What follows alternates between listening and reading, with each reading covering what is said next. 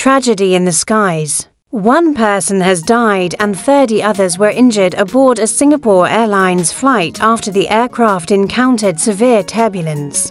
The Boeing 777-300ER had left London for Singapore, but was forced to divert to Bangkok Suvarnabhumi Airport.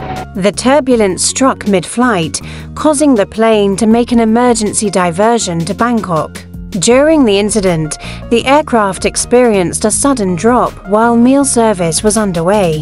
A 73-year-old British man, Geoff Kitchen, tragically died from a suspected heart attack. More than 30 passengers were injured, with 18 requiring hospitalization. Passengers described the ordeal as terrifying. One passenger mentioned, it was the worst turbulence I've ever experienced. Another noted, the sudden drop threw everything into chaos. Singapore Airlines expressed deep sorrow over the incident, extending condolences to the family of the deceased and wishing a speedy recovery to the injured.